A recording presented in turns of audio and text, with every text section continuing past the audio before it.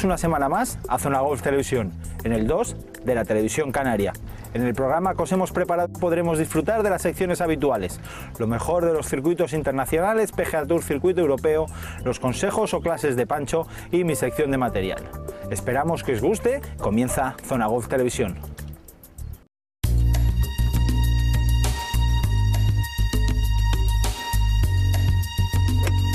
Hola, bienvenidos a Zona Golf Televisión. Eh, bueno, vimos eh, la semana pasada eh, cómo se jugaba una bola cuando la tenemos más baja que los pies. Recuerden que cuando la bola estaba más baja que los pies, la bola, la tendencia de la bola era abrir. Y como ya vimos la semana pasada, hoy vamos a explicar cómo jugar una bola cuando está mm, más alta que los pies. Si la tendencia de la bola cuando estaba más baja que los pies era abrir, la tendencia de la bola cuando está más alta que los pies será cerrar, ¿de acuerdo? Como siempre digo, la postura influye muchísimo. Todo lo que queramos hacer antes de golpear la bola, eh, tenemos que hacerlo antes, como he dicho, no durante, ¿de acuerdo? Entonces tenemos que optar una posición eh, pues un poquito más erguido ¿eh? y sabiendo que la bola va a girar hacia la derecha, de, de derecha a izquierda, pues tendremos que coger el palo justo y sobre todo apuntar un poquito más a la derecha. Hay que intentar hacer swings de práctica. Todo el mundo tiene el miedo de hacer swings de práctica porque parece que se le va a ir el buen swing cuando está haciendo los swings de práctica. Esto es totalmente falso y erróneo. ¿De acuerdo? Eh, eh, mm, lo importante es hacer varios swings de práctica para ver si pasamos perfecto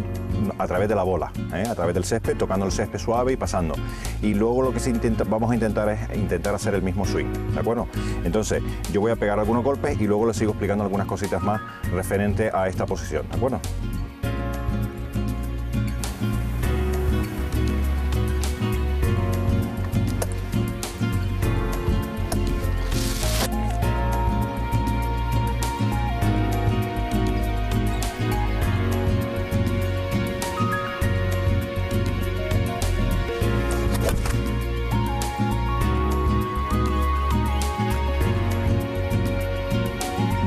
El, golpe ha sido fantástico. Eh, como les decía al principio, la bola tiene tendencia a cerrar de derecha a izquierda, ¿vale? Eh, en caso de que ustedes no quieran tener ese, ese, efecto tan grande, lo que podemos añadir es una cosa, es coger un palo más de lo que a lo mejor la distancia les, les manda e intentar hacer un swing un poco más corto para intentar contrarrestar ese efecto de draw. ¿Cómo se haría esto? Bueno, como explicaba para hacer efectos de derecha a izquierda o izquierda a derecha, ¿eh? cuando hacíamos el fade también subíamos un poco más corto y con muy poca acción de mano, con lo cual al llegar al momento del impacto la cara del palo llegaba un poquito más abierta porque las manos venían un poco más retenidas. Si no quieren hacer ese efecto y apuntar muy a la derecha para que la bola vuelva al sitio, que es la forma más natural, también pueden optar por esta segunda opción, que sería intentar subir con mucho menos acción de mano, más corto el swing y en el momento del impacto llegaría la cara un poco más abierta que con la pendiente y el efecto que se le va a dar por la pendiente saldría una bola mucho más recta. Recuerden, tienen las dos opciones. Ahora voy a pegar un golpe también eh, eh, con las manos un poco retenidas con un palo más para que ustedes vean cómo saldría la bola. ¿De? Recuerden, primero, golpe natural, bola más alta que los pies, apuntamos un poquito hacia la derecha, nos ahorgamos un poquito, hacemos unos cuantos swings de práctica para ver si pasamos bien a través de la bola, nos colocamos y golpeamos la bola, ¿de acuerdo? Si queremos no hacer tanto efecto de derecha a izquierda, porque claro, mm, hay veces que tiramos un palo corto o hay veces que tiramos un, palo muy largo, mientras más largo sea el palo, más cara, la cara cerrada, los efectos son mucho mayores, ¿de acuerdo? Entonces, si quieren hacer esta segunda opción, sería swing más corto, manos más retenidas y en el momento del impacto se cuadraría la, cara del palo hacia el objetivo. Bien, ahora voy a hacer algún otro golpe más para que vean cómo sería este segundo golpe, ¿de acuerdo?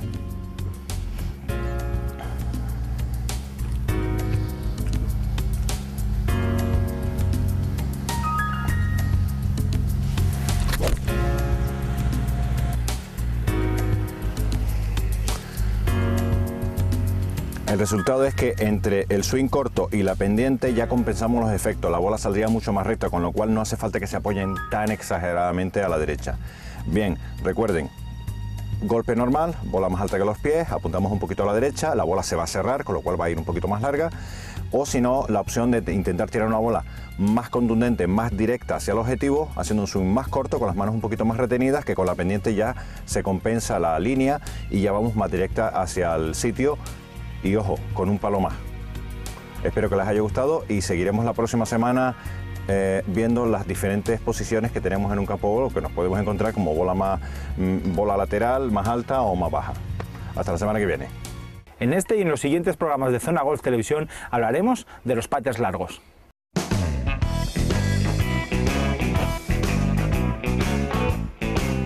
Este que veis en las imágenes es un pater escoba, uno de esos pads largos de los que tanto se ha hablado en los últimos tiempos. Mm, ¿Son nuevos? No, no son nuevos. Llevan años en el circuito, pero sí que es verdad que en los últimos tiempos los rookies viniendo del Nationwide Tour han conseguido importantes victorias y Keegan Bradley, por ejemplo, ganaba el PGA Championship el año pasado con un pater escoba. ¿Qué cambia principalmente en el pater escoba? Va a cambiar la manera en la que tenemos que patear. Al ser un, un pater mucho más largo, cambia nuestra postura. Esta mano, el codo siempre hacia el hoyo, apoyamos en el pecho y este pues la manera de coger la segunda mano ya es, ya hay varias maneras, puede ser en plan pinza eh, y el swing, el arco, la verdad es que con el punto de apoyo mejora bastante. ¿Dónde vamos a notar la principal ventaja? En los pates cortos. ¿Qué nos va a ser más difícil? Los pates largos. Cuanto mayor o cuanto más amplio es el swing, más complicado será y de todos modos no es un truco mágico, no es eh, nada que vaya a cambiar la manera de patear de un día para otro y como siempre, siempre va a llevar eh, un entrenamiento y un, acostumbramiento, acostumbrarse a esta nueva manera de patear. El precio de un pater escoba, como es este caso, este Odyssey, en la Bubilla Golf, que es quien nos los ha prestado, pues son de 199 euros, un poquito más caro, pero no hay que olvidar que también tenemos mucho más palo.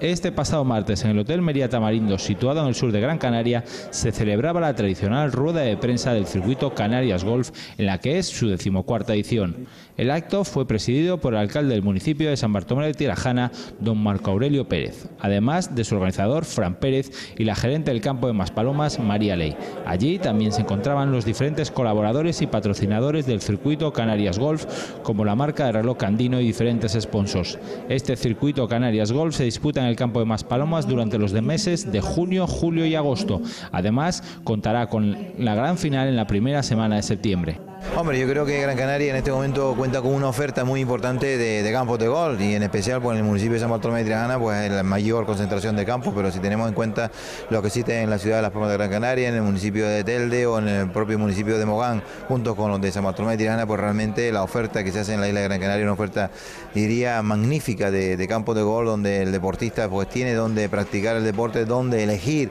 cada día en un campo distinto donde jugar y por tanto yo creo que esa es la, la gran motivación que tiene el golf en nuestra isla. Y eso además nos permite, pues, en algunos casos, pues tener casi los precios más altos a la hora de bajar a ese campo y darle a, las pelotas que de alguna forma cuando hacemos en cuenta a los extranjeros que nos visitan nos, dicen que bueno que es muy caro el green en Gran Canaria pero bueno eh, si es caro es porque realmente lo que se da es bueno. Bueno, yo creo que la Intendencia de Tirajana siempre ha estado apoyando de, una manera importante. Si por un lado, que la organización se encuentre cómoda en San Bartolomé de Tirajana, eh, permitiendo que esos actos importantes que se hacen al final de verano, pues el ayuntamiento le, da pues todo, digamos, el beneplácito para que se puedan hacer durante el mes de agosto y de alguna forma eso hace que la sede, por así decirlo, de ese circuito Canarias esté en Maspalomas, eh, digamos, de manera permanente. Sí, desde luego, aparte de la pasión personal que tengo por este deporte, pues es un eh, bueno, es una parte integral de lo que es hoy en día el turismo a nivel mundial, sobre todo el turismo de calidad. Y en ese sentido nuestra cadena Amelia Hotels International obviamente tiene que estar apoyando este deporte y integrándose en este sector que nos, que nos eh, aporta tanto también a la economía de Canarias. Ya llevamos el tercer año con nuestro torneo y segundo año como sponsor de la gran final. Para nosotros es un gran placer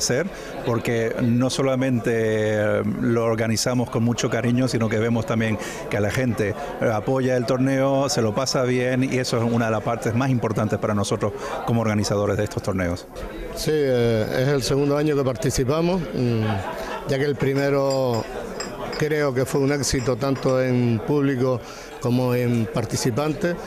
y este año hemos apostado otra vez por estar en el, creo que uno de los mejores campos de golf que hay en Gran Canaria. Dentro del grupo tenemos diferentes marcas y a Candino la estamos enfocando un poquito a lo que es el golf por su calidad, por ser un producto suizo, eh, por eh, el diseño y la élite de, un reloj diferente, queremos enfocarlo y llevarlo al campo de lo que es el, golf. Este año, aparte de, tener unos muy buenos relojes, eh, hemos conseguido grabar en el fondo de la esfera el logo del campo internacional de Maspaloma, donde es un añadido al,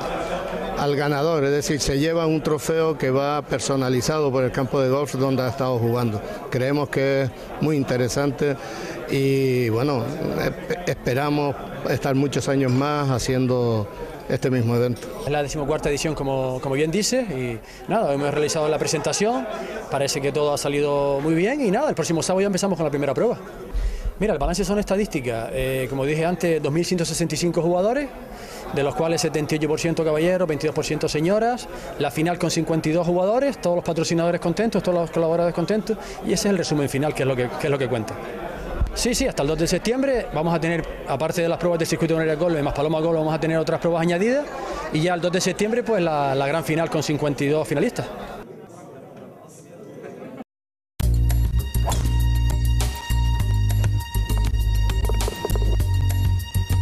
Y esta semana en Zona Golf Televisión nos traemos el Volvo World Match Place que se disputaba el fin de semana pasada en Finca Cortesín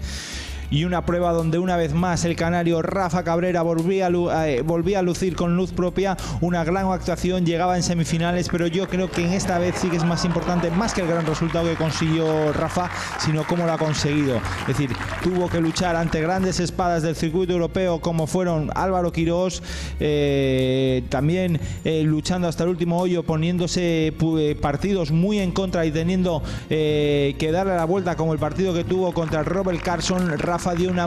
una gran muestra de, serenidad, una gran muestra de, concentración, de lucha, de actitud, una actitud que también tuvo o que,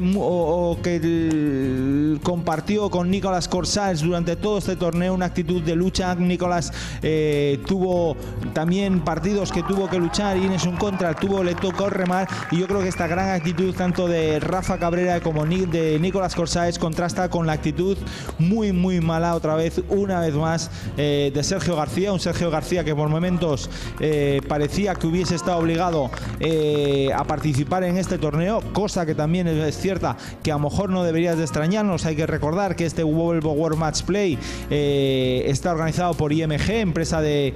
representación de, jugadores de golf, empresa de organización de torneos y al final IMG son las manos que mecen al mundo. un torneo, el Volvo, que quizás este año no tenía los números del circuito mundial tan bajos como ocasiones anteriores y por eso quizás no extrañaría o no es de extrañar que algunos jugadores eh, que representan o representados por IMG se viesen obligados eh, a aparecer por aquí, como es el caso de Sergio García, un Sergio García que volvió a mostrar un lenguaje corporal, una actitud en el campo que no es propia un jugador que tiene tanta clase y que al final sigue siendo una pena, pero yo me quedo con, la participación de, eh, de, Rafa Cabrera en partidos semifinales frente a Gray McDowell, lucharía hasta el hoyo hasta el hoyo 18, donde aquí lo vemos, tendría que entregar el, partido luchando contra un jugador que todos sabemos quién es el match play, Greg McDowell, eh, ganador eh, del US Open, héroe de la Ryder de la última Ryder Cup con el punto que dio la victoria. Y aquí vemos a Nicolás Corsaes que lograba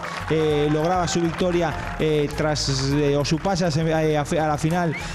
frente a Paul Lowry, un Paul Lowry que se ponía inicialmente muy arriba del marcador pero una gran actitud, un juego muy constante, muy sólido de Nicolás Corsair, lo, llegaba, lo llevaba a participar en la final que tenía lugar en unas condiciones muy complicadas, mucho viento como podemos ver en las imágenes y un campo como Finca Cortesín que tiene las salidas en alto, pues complica mucho, eh, complica mucho el juego. No, no es verdad que no se vio un gran juego en la final, pero en buena medida por el formato que era, un match play y, donde se permiten fallos tanto de uno como de otro y donde al mismo tiempo eh, eh, llevaban partidos, muchos partidos encima, muchas caminatas encima,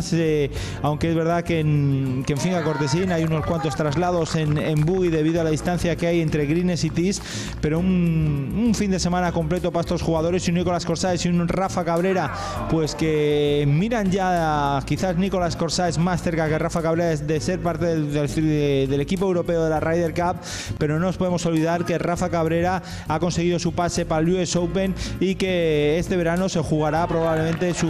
presencia en la Ryder Cup. Y aquí vemos a Nicolás Corsáez, ganador del Volvo World Match Play 2012 en Finca Cortesín.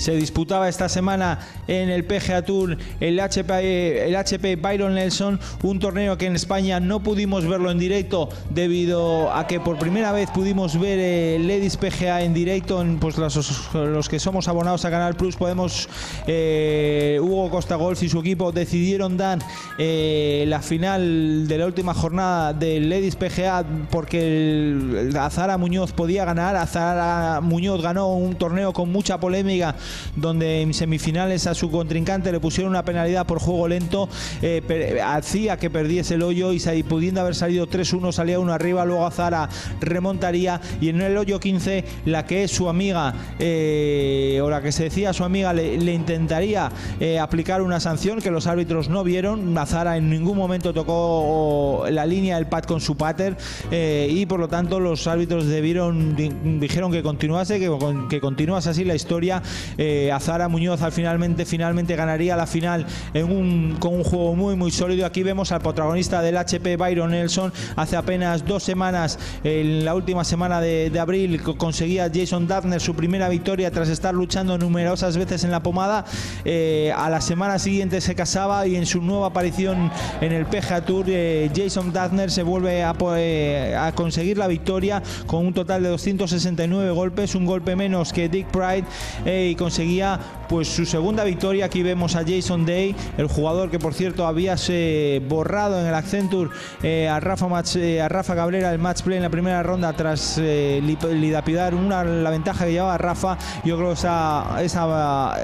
esa lección la, tiene aprendida Rafa como lo pudimos ver anteriormente en el Volvo World Match Play. Un Jason Daphner pues que se está convirtiendo en uno de los pocos jugadores con dos victorias en el PGA Tour esta temporada y evidentemente se lo sitúa entre los favoritos para formar parte del equipo norteamericano del Ryder Cup que eh, recordamos que se disputa en Chicago este mes de septiembre y donde pues está no está nada nada del pescado está vendido para formar parte de, de ese de ese equipo tanto del europeo como del norteamericano. Recordemos que los grandes eh, en el año de, la Ryder puntúan mucho y por lo tanto se va a jugar todavía eh, entre el US Open entre el PGA Championship y entre el British Open o the Open la clasificación, por lo tanto es muy bueno que jugadores como que en los cuales nosotros tenemos predilección, como es Rafa Cabrera, pues haya, haya conseguido meterse eh, en el British Open a través de su clasificación del año pasado en el Race to Dubai, en el US Open, gracias al ranking mundial que, que ostenta eh, actualmente, eh, que es la posición 61 o 62, eso le mete en el US Open, por lo tanto va a ser muy muy importante para las bazas que pueda jugar Rafa Cabrera estar en el en el en el la Ryder Cup de, de Medina del 2012. Un Jason Daphner que volvía a mostrar su ritmo, es decir, es yo creo lo más característico de este jugador, su ritmo, su pausa, pero eso quiere decir que, sé, que tener un ritmo y una pausa lenta no quiere decir que sea un juego lento. Él cuando se pone a la bola hace sus woggles, pero, pero no tiene mucho tiempo, es un jugador, luego en su rutina no es un jugador lento, pero un jugador que tiene un gran temple, un jugador de muchísimo ritmo, es muy raro verlo nervioso en el campo y su ritmo, la verdad, tiene una facilidad de swing que impresiona. Eh, y bajo ninguna circunstancia pues se acelera y aquí vemos cómo buscaba el tiro inteligente por encima de la bandera volviendo backspin para atrás intentando acercar un poco a la bandera pero dejando el agua fuera que era realmente lo que le podía costar el torneo y aquí vemos eh, cómo su pad eh, con una caída importante al final se lo metía, embocaba y Jason Darner sería el ganador de este HP Byron Nelson 2012. El programa de esta semana de Zona Golf Televisión ya ha llegado a su fin. Espero que os haya gustado, que os hayan parecido interesantes y que intentéis poner en práctica alguno de los consejos de Pancho en vuestras próximas salidas al campo. Ya sabéis, si tenéis cualquier duda, cualquier consejo, siempre en Twitter en Ovidio V. Muchas gracias y hasta la próxima semana.